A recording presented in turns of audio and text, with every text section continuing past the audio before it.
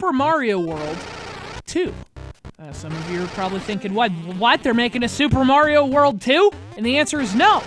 They already did. See, most people know it by its subtitle, Yoshi's Island. And you get the sense Nintendo saw it that way too. I mean, even on the cartridge, the, the Super Mario World 2 part, it was so tiny that you might not even notice it at first. And there was a reason for that. It's not really Super Mario World 2. I mean, technically it is, but look, not really. I mean, if it doesn't look like Super Mario World, doesn't play at all like Super Mario World. Yoshi's Island was its own game. In fact, it launched a whole new series. But for the purposes of branding and marketing, Super Mario World 2. Or how about Super Mario Land 3? You know, that one is Wario Land. It's the exact same situation. A whole new franchise, a whole new series, but kind of started in disguise. Fortunately, Wario is a master of disguise.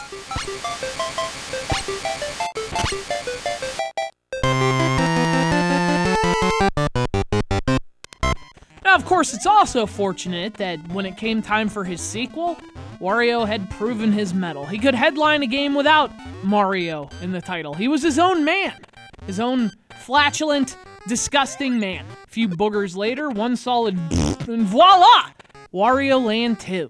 This stinky little bastard was released in 1998, at a time when Mario was busy anyway. You know, he probably had some blockbuster game that changed the whole Wait, Mario Party? That's what he was doing in 1998? Mario Party? Poor Wario's out there trying to sell Game Boys, baby. Mario's out partying with a princess and a monkey at the same time.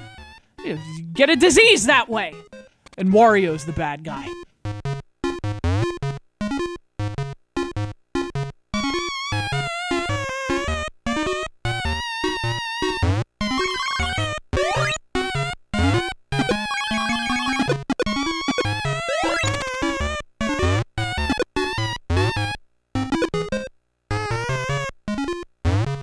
He used to be the bad guy.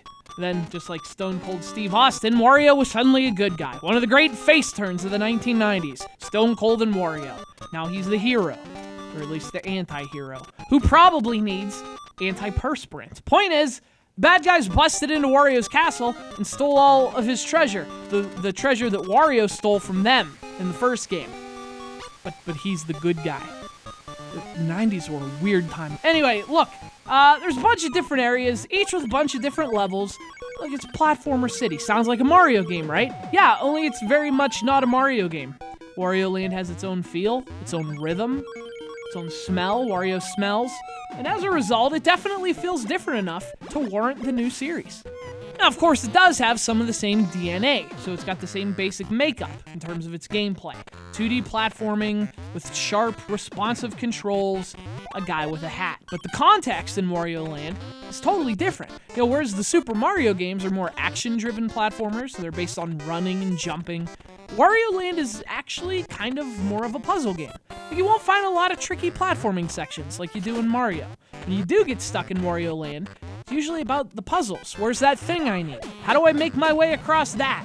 You know, it's unique. It's like, you know, Wario's a lot more physical than Mario, but in a way, his game's actually more cerebral.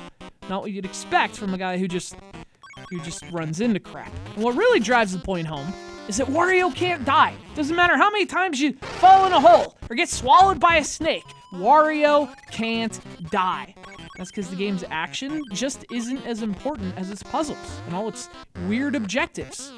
Also because he's very strong. Wario's like, I mean, he can lift like right over his. Oh, and he's also rich. He's filthy rich. He has great insurance. Actually, it's fortunate that he has that good insurance because even though he doesn't die, he's always hurting himself. In fact, that's another central element of the game's design. Where Mario has power ups, Wario has like powered downs. Bad things happen to him and they affect his abilities. He might get squished into a pancake or set on fire. These altered states actually give him some new abilities and help you get through some of the puzzles. Especially if if you're in an altered state yourself, which look, no biggie. I'm sure I'm sure Wario can sympathize. I mean, look at him. What do you think he does with all that money? Look at his nose. Dude has a problem.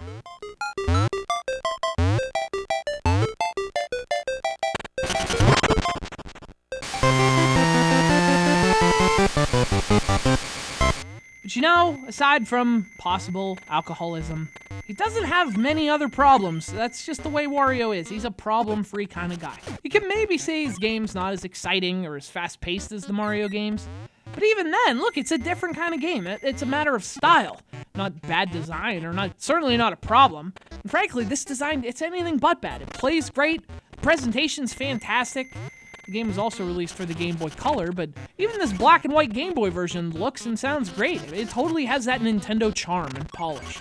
And the coolest part is that rather than just do a Mario game with Wario, they actually did something different enough to be a Wario game, and that's awesome.